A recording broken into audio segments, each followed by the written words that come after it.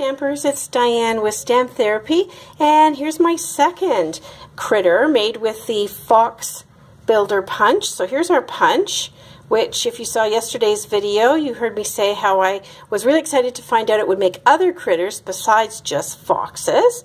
So uh, here is one of the little leopards that was made with this, with all his cute little spots. Let me show you how he's made. So you're going to need a few pieces right from the builder punch. You're going to need the body, the head, the mouth, and the tail all in one color. So that's going to be our yellow that we're going to use here, Daffodil Delight. So it really just cuts out a square piece from here. And then you're going to need a strip of black from which you're going to punch out a number of uh, 1 8 inch circles that are very much like the yellow one. So punch yourself out two yellows for the eyes and a number in black.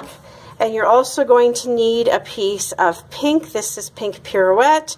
And I've done the two ear insert pieces and the nose from that. And then just a small scrap of whisper white that you can cut a tail out of.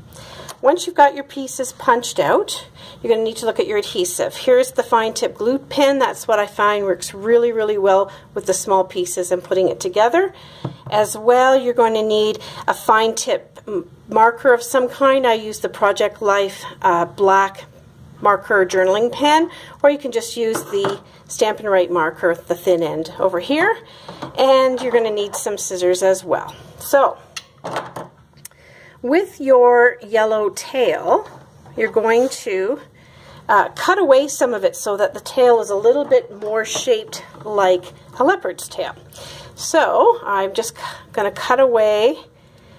I showed the black lines there so you can see what part gets cut away. I'm going to cut around and then kind of make it a rounded end up here on the, the tip of the tail.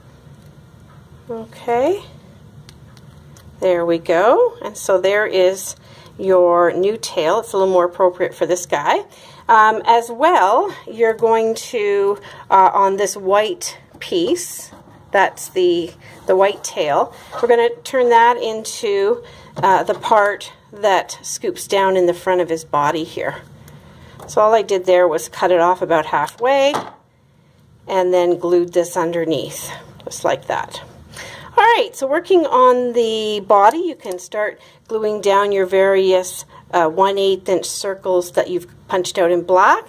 On the face, on the mask part, we're going to add some, again using uh, a marker, you're going to add some pieces to this. So from about the center, you're going to do a little scoop up. They kind of look like flower stamens, that kind of thing. And then a little nub at the top. When you glue your little yellow um, circles into there and draw your actual eyes, you'll get the effect that we're looking for right here. Okay, and then it's just a matter of putting them together with a dimensional, with all the bo head body combinations. I'm putting a dimensional in between them there to pop it up a little bit and assemble them away. I also added, you'll see a little bit of lines up at the top here. So I hope you enjoyed this guy, and uh, if you would like to visit my website, you'll see uh, lots of other critters through the month, and thank you for watching. Bye for now.